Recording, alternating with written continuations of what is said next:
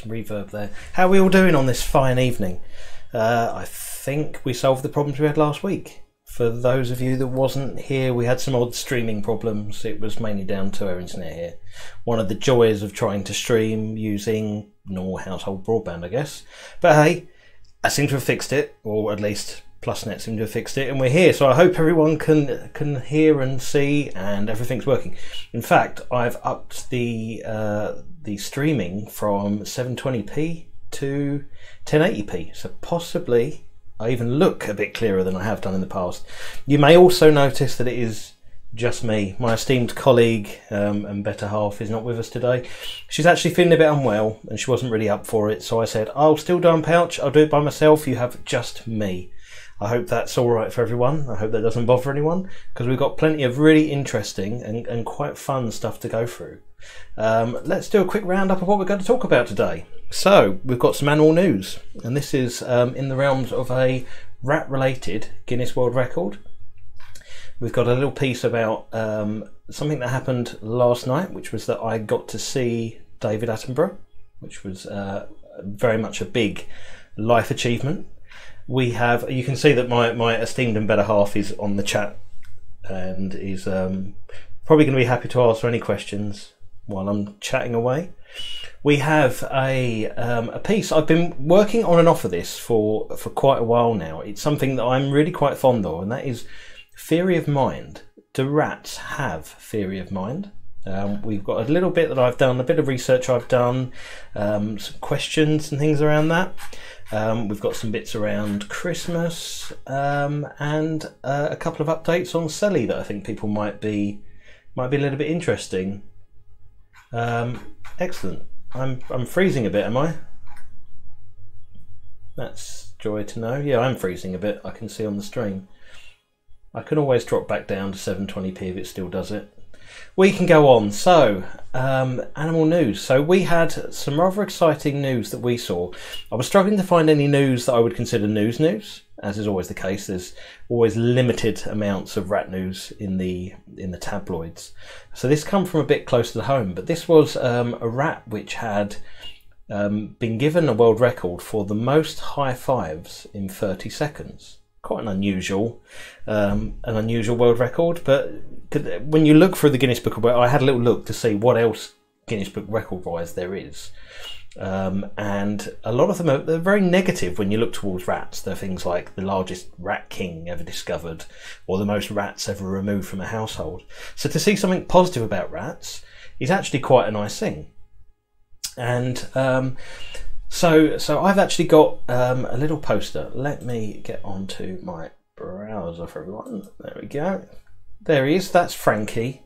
He's the um, official Guinness World Record holder, and possibly, from what I could see, the first individual rat to hold a world record. Now you might be wondering, do I have a video of what Frankie did? Oh yes I do. Who wants to see the video of Frankie doing what he does best? Let's see. World record.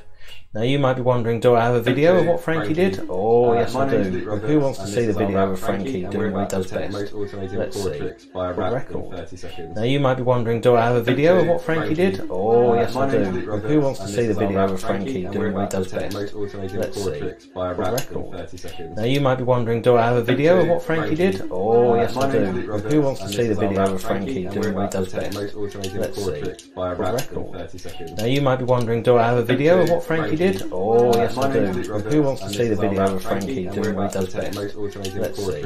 Record. Now, you might be wondering, do I have a video of what Frankie did? Oh, yes, I do.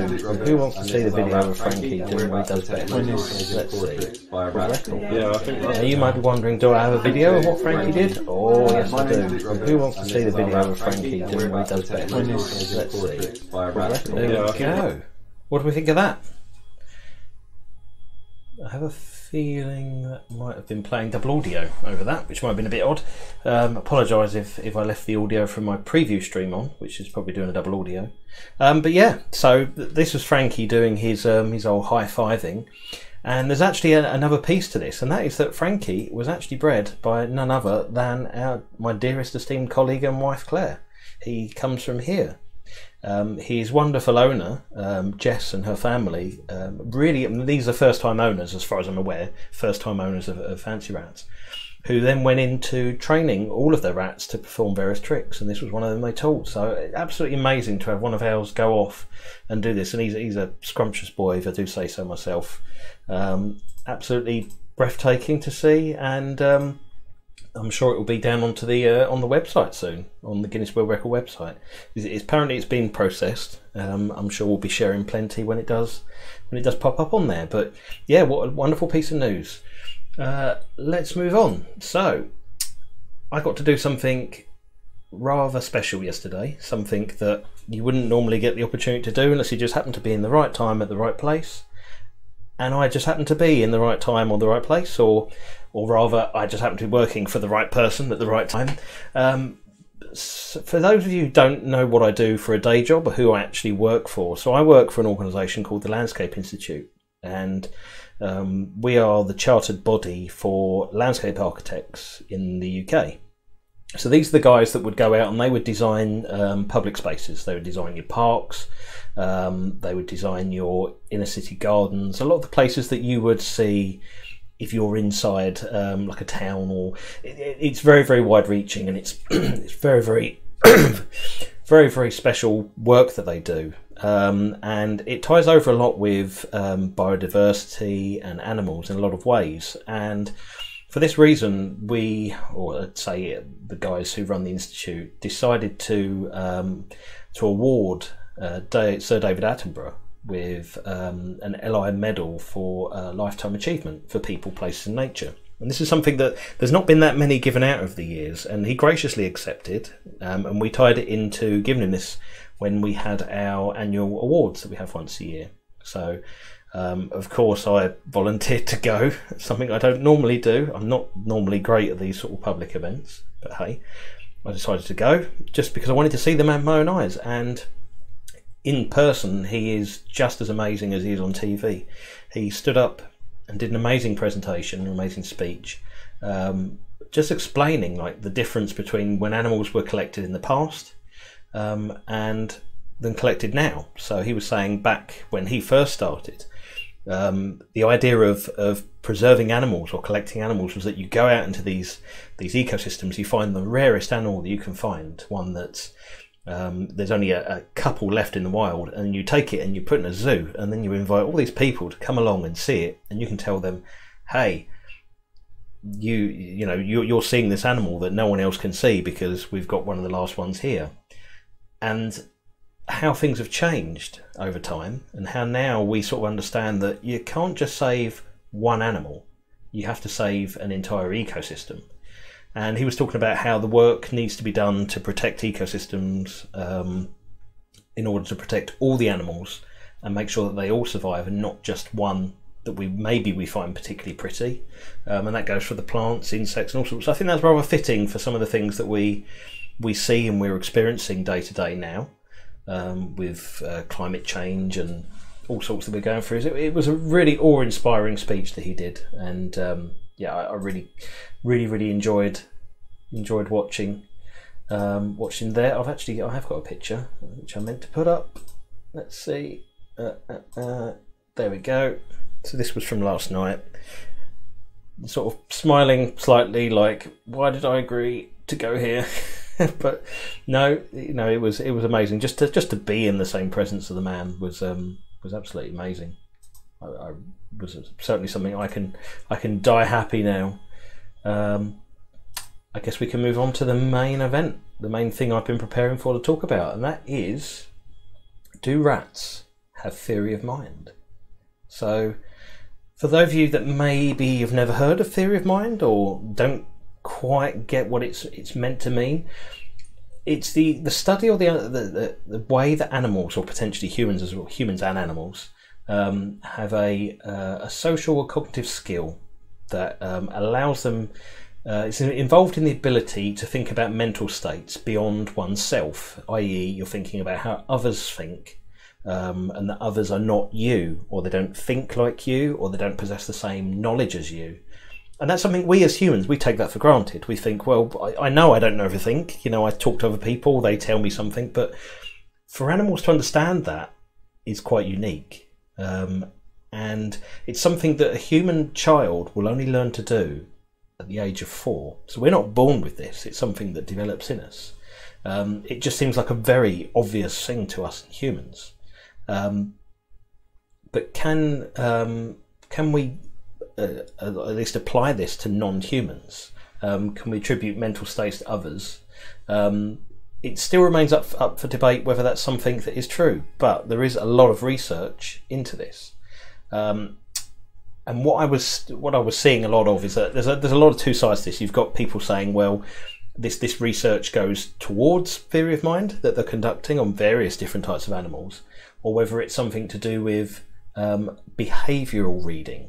So they were saying essentially it's there's very very difficult to distinguish in animals the difference between being a mind reader and a behavioural reader. So I guess you would take this as a if you talked about say dogs for example. Um, if you were hello again, I lost myself. That's good. Always good to lose yourself. That, that's fantastic. I assume I'm not still breaking up as much as I was, possibly still am. To find yourself again then. um, where was I? Is it still? Is the stream still breaking up? Is it still going a bit weird? Anyone confirm they can still see me okay? Because my YouTube window just went a bit weird. No, yes, no, no, no, no, no. I think I still keep breaking up. Give me a minute. I might, I might swap over to a lower bit rate again. Are you all, we're all good? We're all good. Okay. The downside of always trying to run this. Never mind. Right. Anyway, so current research into it struggles to distinguish between mind readers and behavioural readers. So my example for this um, would be in dogs. Uh, they're very, very good at picking up on the way you act and the way you present yourself, and for that reason, they might act on that. That doesn't mean they understand that you think differently to them. So that's, I think, where some of this research falls foul, but it's still interesting nonetheless. So I have um, no now totally frozen here. Yeah, it does seem to be. Maybe I'll quickly flip to a different bitrate and see if that addresses it because I'm getting a lot of drop frames on here. This can be. Give me two seconds while I quickly change it and click restream again. Did that work? Just I'm waiting to see if it current resolution isn't optimal. Let's see. So maybe that's better. Maybe that's come better. Um, I'm hoping that seems better. Yeah, that, that, that looks better for my end. Cool. Right sometimes you push too much through the pipe, which is the internet, and it just complains and goes a bit weird. So um, do let me know if that seems to be better. Better? Good, good, good. Right, let's carry on. This is a study that was conducted by the University of Chicago, and this was looking into specifically this, which is theory of mind in rats. Um, and this experiment conduct- is of this. So you've got rat A and rat B. And rat A is placed in a transparent plexiglass container. So, you know, yay big, not too large, just enough that they can see out, but they can't really move around so much. While rat B is placed in another plexiglass box, and this one's much larger, more like cage size. And the rat A's container is now inside it. So you can imagine this one container with the rat inside, and a smaller container within with rat A inside. Um, and this is this is obviously an actual experiment. I'm not just speculating. And so rat A becomes quite agitated. Um, they use female rats for this this particular experiment um, because she's not able to escape her container, and she wants to naturally avoid open spaces. She wants to get into the very very corner of the larger container because that's naturally what she's going to set herself out to do. But she can't. She can see that there's out because it's plexiglass and she can see through it. Rat B also wants to avoid open spaces and will aim to go into the very corner of this box. However, she can see the rat A is agitated. She sniffs at the door of the container and nudges it with her nose, and eventually she pushes the door open. The rats then interact with each other before both going to the edge together. Now, you could say in this test that rat B helped rat A, that she understood that rat B was not herself. Um, Rat A was not herself, and that she almost experienced a type of empathy, um, wanting to kind of help. I'm still seeing the stream, God, it's bleeding YouTube. YouTube have changed a few things recently on their streams, and ever since they've changed this, it's been an absolute nightmare. I know it's not just me. Various other other channels that I follow have been complaining the same thing. So so much for me saying Facebook was the one that was letting us down because sometimes it's this. Um, so when similar tests were done with rat A, rat B, they offered rat B the choice between choosing a treat or the option to free rat A from the container. And in most cases, rat B chose to save rat A from the container and forego the treat, which is rather, you know, rather special when you think about it. That's I'm going to give up on having a treat. Instead, I'm going to help this other rat. And there were studies done between cage mates and strangers. So, whereas rat um, rat A in the container varies uh, between being a cage mate of rat B or a stranger. And although if they were strangers, rat B was more likely to choose the treat than to free the rat. It wasn't always the case. Um, and in most cases, if they were cage mates, rat B would save rat A from the container first. So, that, I mean, that's why itself, it doesn't prove theory of mind. It shows that rats have some cognitive tools to allow them to make. No, rat B wasn't male. Both rats were female. You, it, it, would skew the results if one of them was sex mad and just wanted the the dough for themselves. Um, it, it, exactly that. It's a very very simple form of society, and it and it shows the ability to feel what another animal is feeling other than yourself. Um, so critics the study um, they they put it down to something called emotional contagions which is uh, this seems to be something that's actually more common in rodents than most others, and that is where one individual feels something and that same feeling spreads across multiples in a group. Not necessarily because they're feeling empathetic or they want to share that feeling, um, but because they're responding to that same um, stimuli and then experiencing the same thing from their own experience.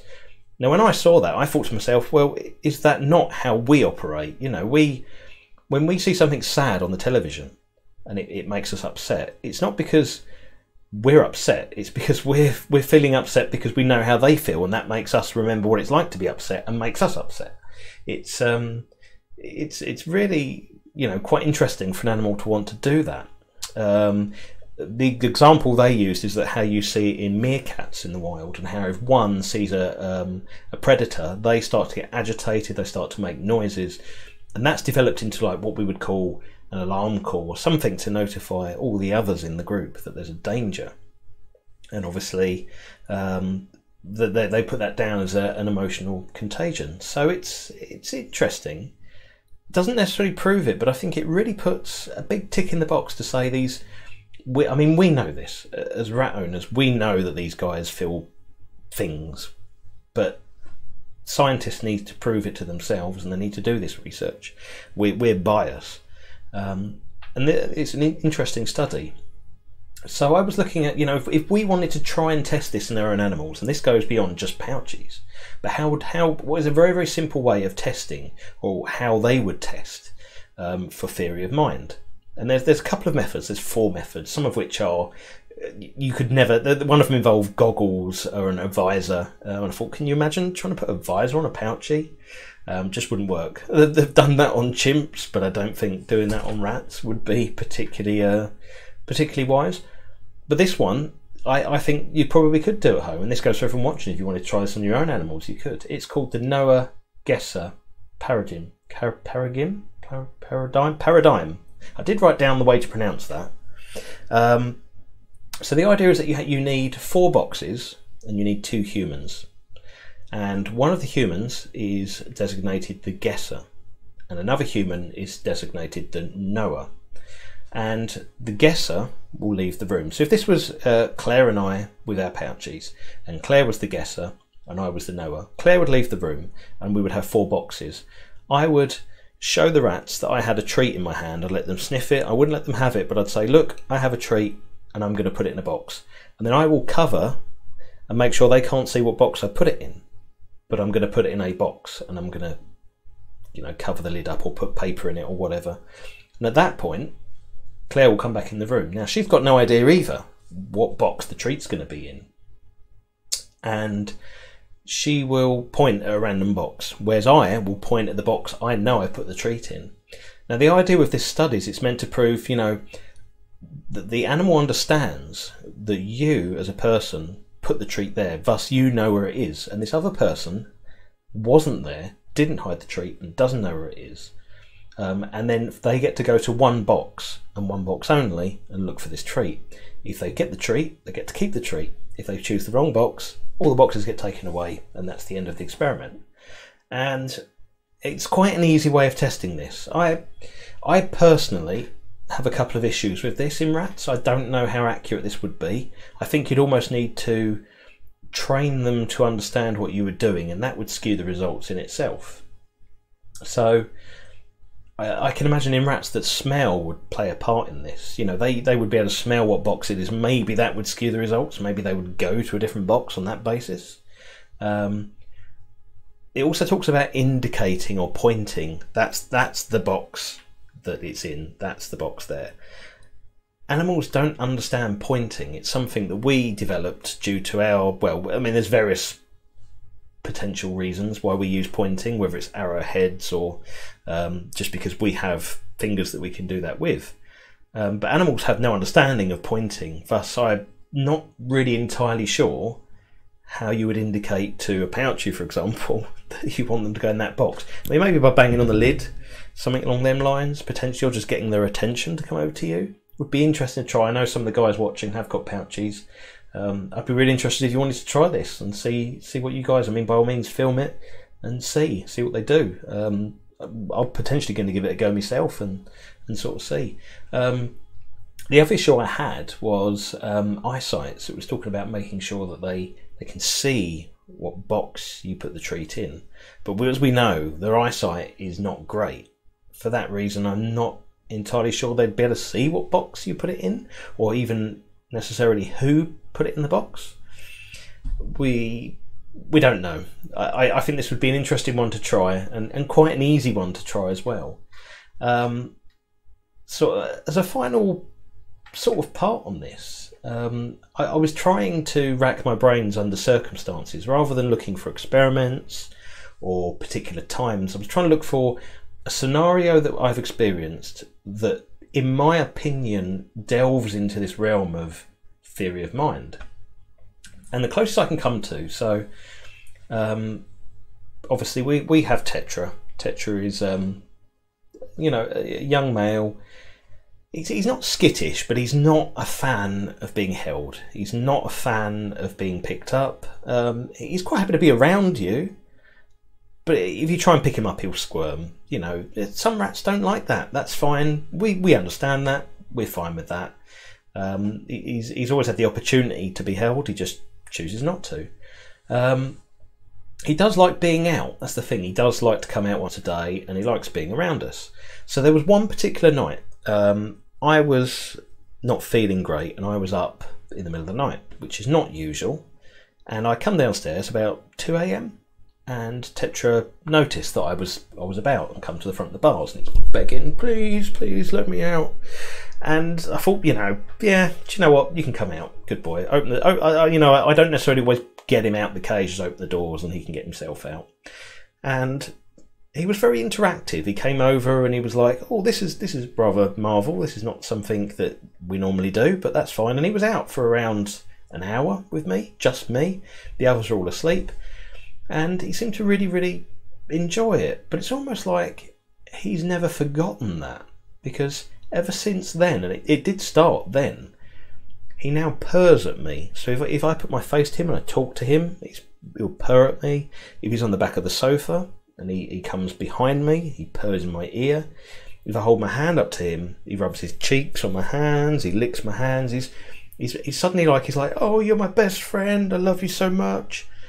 And, and what's odd is that he lets me pick him up, and he won't let Claire pick him up, but he lets me pick him up, and this is this is unusual for me. Um, I can put this down to, well, you know, it's not like there's a net benefit to him. It's not like he's like, oh, well, if I act this way, I'm going to get to come out at two a.m. every day because it hasn't happened before that point or since that point. It's almost like he remembers what happened understands that I am not the same as Claire and that I was the one that came downstairs and I was the one that let him out and that he just loves me for it. I, I can't really put it any other way. It's really unusual, but fascinating and something that I've not seen any of the others do. So, you know, for me, that possibly comes closest to theory of mind. Him understanding that I am someone different than him, and I made a conscious decision to do something for him, and he's forever grateful for it. Um, yeah, it's. Um, I mean, does this show that he had an ability to understand that I made a decision to get him out, and that he was so happy, and it made a lasting impression, and that almost like he relives that moment and developed that bond because of that. It's. Uh, it's.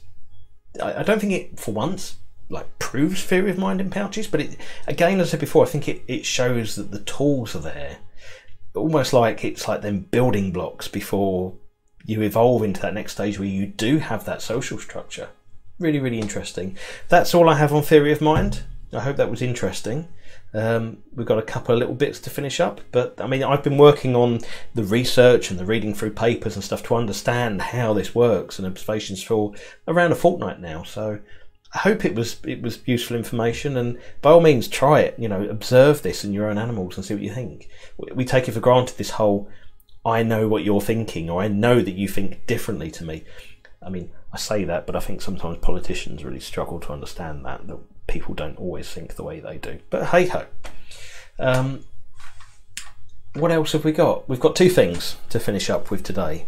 Um, it's oh, the date today is the 29th of November which means we've got two more days before it's December. And at that point, I'm happy to say, yes, it's Christmas. Anyone says it's Christmas now? No, it's not Christmas, it's November. Christmas starts on the 1st December, as far as I'm concerned. And for that reason, we've been talking about doing a Christmas competition. We said we were going to do one last year, we never got quite round to it. But this year, we've got one planned, and we're going to um, we're not entirely sure what the prize level is going to be, whether we're going to do a first, second, and third place for this, or just the first place. Um, we'll, we'll, we'll, see when we get close to it. But the idea we've got is that um, to enter this competition starts on the 1st December. You literally just put your name in a hat, basically, on the Facebook group. Just say, yep, me, me, me. We will write all the names down on a piece of paper or on a little ticket and we'll roll them up. And we will chuck them all into a box. And dear old Linda, um, Linda's Gimli, will go into the box um, probably around the 20th of December and pick out a random name. So we'll, we'll it will be pouchy random. Can't guarantee it will be 100% random. It will be pouchy random. That's about as close as we can get. Um, and they will probably win maybe 30 pounds worth of Amazon vouchers, along them lines. Um, just to say to everyone, hope that you have a nice Christmas, etc. Um, so yeah, when you see that pop up on the group, um, be sure to put your name in the hat. It, I think it'd be well worth a uh, well worth entering just just to see. You never know, might just give you that little bit to uh, buy yourself something nice over Christmas. Um, the final thing we'll end on is uh, how many times have we brought this up on Unpouched? Selly. Selly is the little pouch rat that was the, that was not fed by her mum, who we hand reared from two days old, and you would think that that would mean that she would be the loveliest animal in the world, but no. She is by far, out of all the pouches we have, the most difficult. She is the one that bites, she is the one that screams, she is the one that chews carpets, she is the one that chews doors, she is the one that will scratch your legs, everything that you, you don't want a pouch rat to be is what she is. I still love her to absolute pieces, but she drives me insane. I mean, I don't think I can even get them on camera, but I am just covered in bites and scratches. I've got a massive bite on my arm from the other day that has bruised up. Um, and it's, it's because she's being told no. She's being told that she can't do something and she doesn't like it. She'll be chewing a door because she wants to get in the bedroom and I will say no, and I'll pick her up and take her downstairs. And on the way down, meh, meh, meh, bite.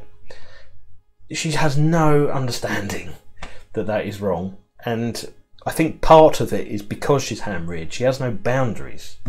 Anyway, it has become an issue where I'm you know, I was getting bitten by her. When I say bites, I'm not meaning bites that land you in hospital. I mean, we know that pouches can do a lot of damage to you. Um, this is not going to land me in hospital, but it's it's on the level. Anyone who's had a, a, fancy rat bite where you go, "Oh, you little sod," and you you're pouring me blood. It, it, exactly the same as that. But it, every night it gets a bit much when you've got people at work asking, "What's wrong with your hand?" So at that point, you start to question: Is there something we can do? You know, is there something that's making her stressed? Something that we can do to improve her quality of life? She would be out the cage more and for longer. I mean, at the moment, she tends to be doing something bad and have to be put back within 15 minutes.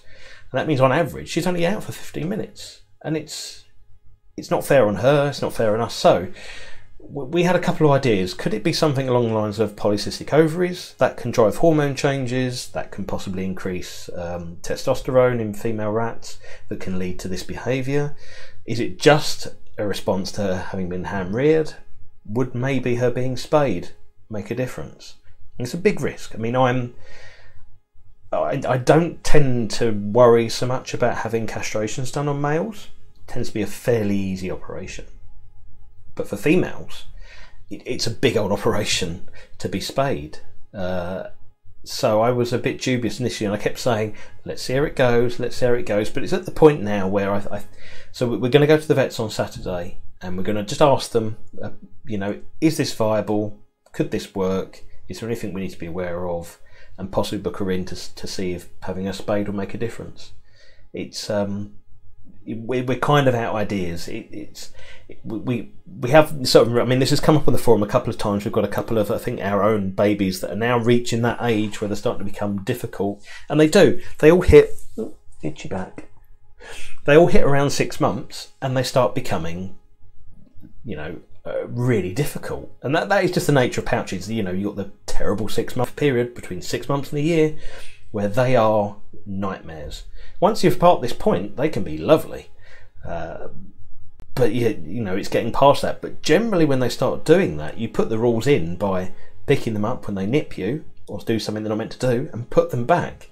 You do that with Sally, and she just cries non stop in the cage. And not only do you then feel really bad, but she then has a brat fit, starts attacking her bed, ripping her bed, kicking her food everywhere, throwing everything around her cage.